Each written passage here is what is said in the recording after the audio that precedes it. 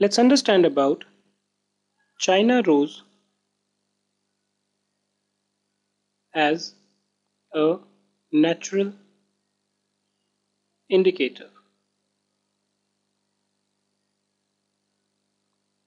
Again, China rose is derived from a flower. I guess each one of you would be having a picture of this flower in your book because it's from there I think you will be able to get a better sense on the kind of flower it is. Okay? So this is also one of the natural indicators that we have. The color of china flower is light pink. So you would have a light pink colored flower which is the china flower so the original color of china flower is light pink which is this color. Okay? So this china flower or rather the solution of china flower can be taken from china rose. So what you do is you take the petals of china rose from the flower plus add some water which should be warm into it and leave it for some time. After some time what you will see is that the water which was there would change the color to light pink. Okay?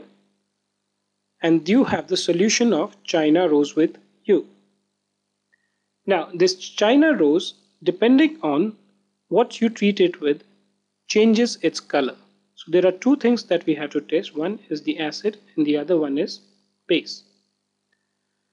So when you add an acid to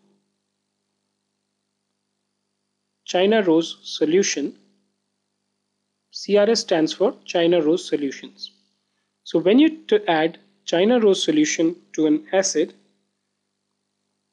the light pink color will turn to magenta, which is dark pink. You can use the word dark pink deep pink whatever you want to use. Whereas if you add a base to China rose this will turn green. So this light pink color which was something like this out here. Will turn turn to green in case you add a base to this solution. And dark pink. I'm sorry I don't have the dark pink stuff in my color combination. Okay but it will turn dark pink when you add the acidic solution to this so maybe something like this okay so China rose is again used as an indicator. Just to re-summarize the entire discussion that we had. When you China rain rose is originally of the light pink color. When you add an acid to it, it turns dark pink or deep pink, which is also known as magenta. And when you add a base to it, it turns green. Okay.